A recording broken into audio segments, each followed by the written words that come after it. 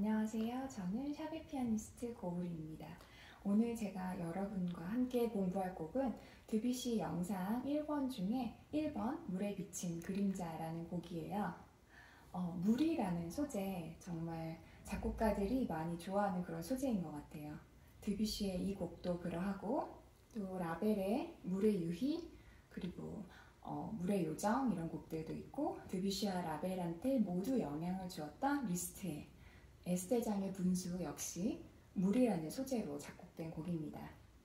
이 곡은 1905년에 영상 1권이 출판되었고요. 영상 2권은 1907년에 출판되었어요. 그런데 이 곡을 나오기 전에 드뷔시가 출판업자에게 편지를 썼다고 해요. 내가 지금까지랑은 전혀 다른 방식으로 곡을 작곡하고 있는데 이 곡은 슈만의 왼쪽, 쇼팽의 오른쪽에 자리 잡게 될 것이다. 이렇게 확신하면서 자신감에 가득 차서 편지를 보냈다고 합니다. 어, 드뷔시는 굉장히 음향에 대한 탐험 그리고 어, 톤 컬러에 대한 개성적인 접근 방식이 있었어요. 그래서 이러한 것들이 드뷔시를 인상주의라는 피아노 작곡의 새로운 경향을 창시하게 만들어 주었는데요. 정작 드뷔시 자신은 인상주의라고 자신의 음악이 불리우는 걸 좀 싫어했다고 해요. 어, 인상주의와의 연관성을 살펴볼 때 어, 회화 양식과 정말 뗄래야 뗄 수 없는 그런 드뷔시의 음악이기 때문에 여기서 한번 우리 클로드 모네의 해돋이, 인상 해돋이라는 작품을 한번 먼저 살펴보고 계속 이야기 이어나가도록 할게요. 어, 이 작품 너무 멋있지 않나요? 저는 너무 개인적으로 좋아하는데 어, 이게 처음 전시가 되었을 때 평론가들한테는 굉장히 혹평을 받았다고 해요. 벽에 어, 벽지 스케치보다도 못한 작품이라고 그냥 인상만을 담아냈다. 미완성된 작품이다. 이러한 혹평을 드, 들었는데 그러한 인상만이 담았다는 데에서 인상주의라는 말이 유래가 되어서 굉장히 상징적인 작품입니다. 어, 이렇게 드뷔시가 좋아하든지 안 하든지 간에 인상주의 회화와 드뷔시 음악에는 굉장히 많은 공통점이 있어요. 그래서 우리가 그 공통점 두 가지만 살펴보고 어, 피아노 공부로 들어가도록 할게요. 먼저 그림을 살펴보시면 굉장히 경계선이 불분명하죠.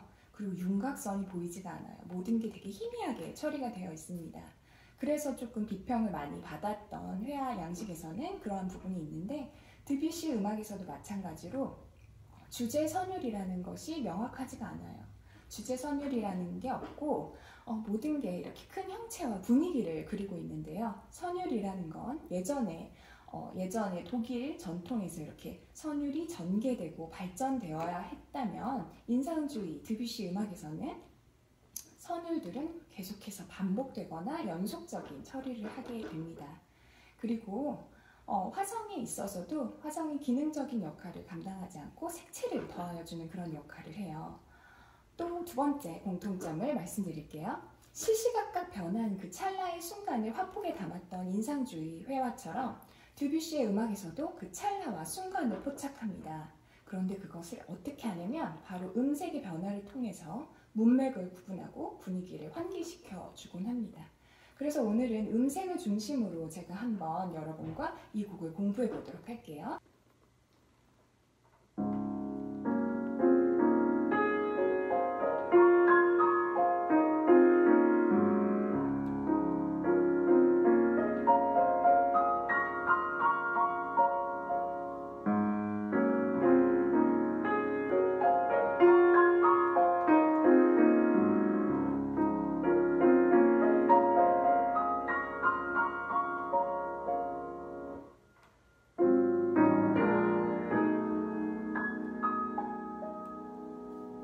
이렇게 잔잔한 도입부로 시작을 하고 있죠.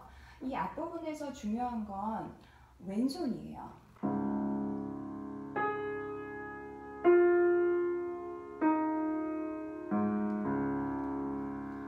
이게 마치 되게 잔잔한 호숫가에 물방울이 똑똑똑 떨어지는 드롭처럼 이렇게 떨어지는 이미지가 연상이 되는데요. 그리고 오른손에 이런 코드 같은 경우는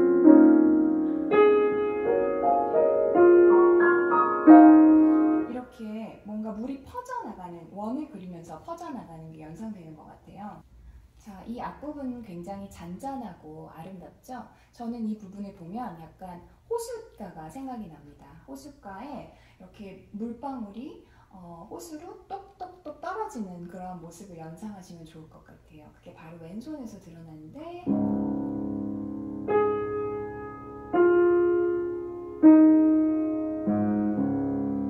이렇게 테누토로 표시되어 왼손이 정말 종소리처럼 똑똑똑 들리게 아주 명확하게 들리는 게 중요하고 오른손 그 코드들은 물방울이 떨어졌을 때 퍼져나가는 움직임처럼 조금 자유롭게 하지만 어, 이게 전체적인 다이내믹이 피아니시모니까요. 오른손은 꽉 채운 화성을 내주되 피아니 시시시모 정도로 연주하시면 좋을 것 같아요.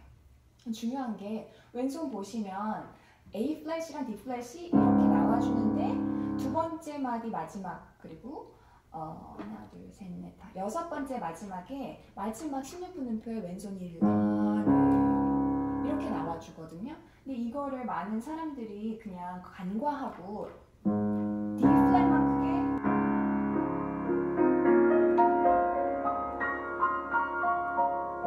이렇게 치는 경향이 있는데요. 저는 마지막에 약한 비트에 있지만 A 플랫 굉장히 중요하다고 생각하거든요. 그래서 항상 A 플랫은 중요하게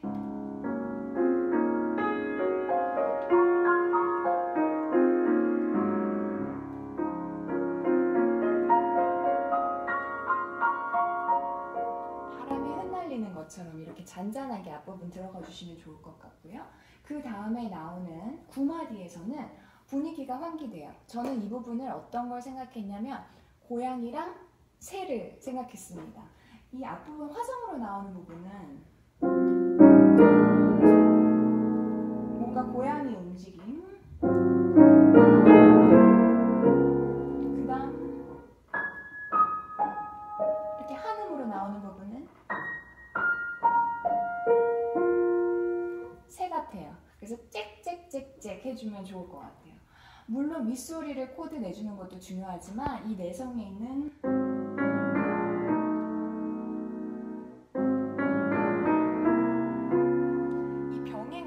드뷔시가 병행을 금기해왔던 병행을 아주 잘 사용했잖아요. 아주 오묘한 그러한 분위기를 주기 때문에 이 화성을 잘 살려주면서 내성도 잘 들리게 그리고 뭔가 고양이와 새의 그런 어, 음색의 반전을 줄 수 있는 그런 이미지를 연상시키면서 치시면 좋을 것 같아요.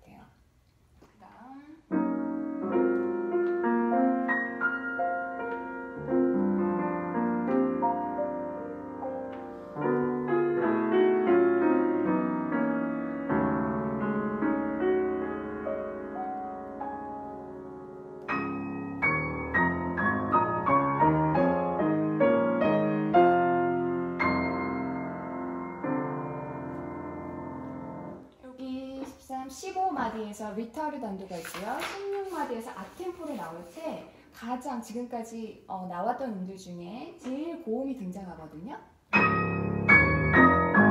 할 때 무엇보다도 이 새끼손가락 오른손에 새끼손가락 그냥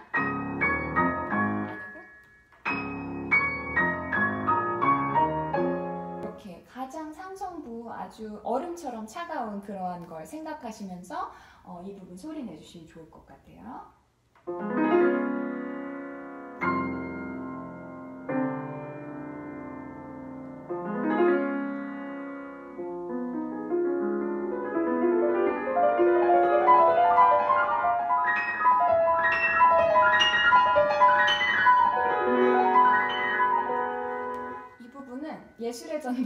볼 수 있죠. 그런 거에서 뭔가 물이 형체를 이제 잃어버리고 굉장히 활발하게 움직이기 시작하는 그런 움직임을 연상하셨으면 좋겠어요.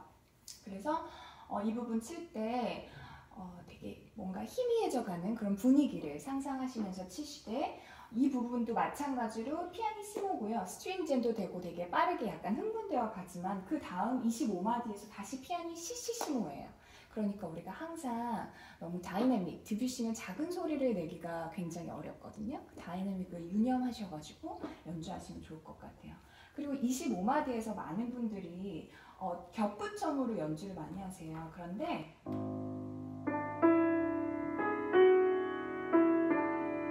이렇게 드뷔시는 16분 음표로 적어놨거든요. 그러니까 그 부분을 이렇게 치지 않도록 주의하셨으면 좋을 것 같아요. 그 다음 이렇게 물의 소용돌이가 이제 조금 시작되죠. 앞부분이 굉장히 잔잔했다면 이 부분은 조금 되게 활발한 움직임. 근데 이제 더한 활발한 움직임이 나오죠. 이제 44마디예요.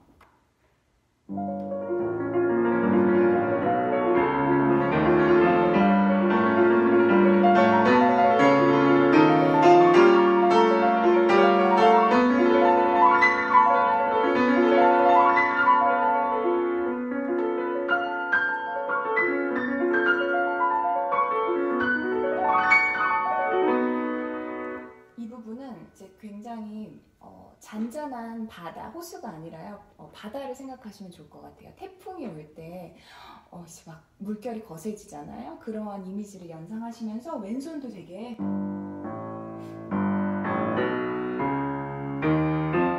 리듬도 굉장히 급박해지고 있고요. 화장도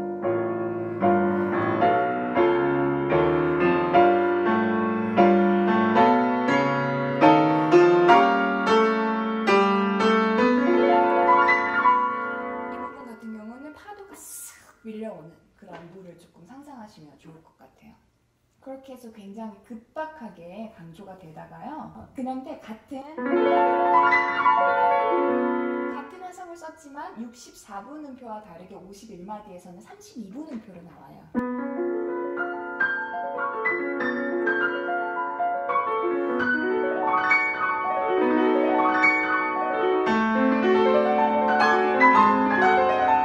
그래서 이 부분 같은 경우도 어, 굉장히 다른 음색을 내주시면 좋을 것 같아요. 그 다음 여기서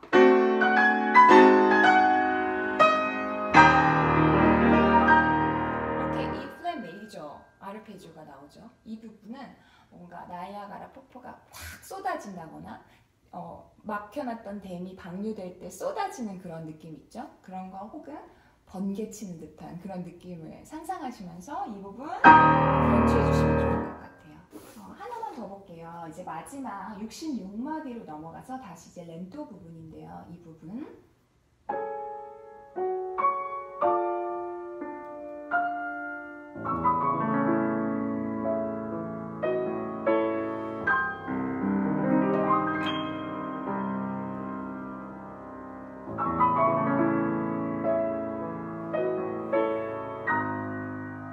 이 부분은 어떤 게 떠오르세요?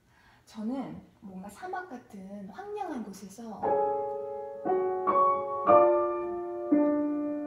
오아시스를 발견한 거예요. 그런데 C 마이너 알페주가 나오면서 이게 거짓이었다. 신기루, 오아시스 신기루 많이 있잖아요. 약간 그런 느낌이 들었다가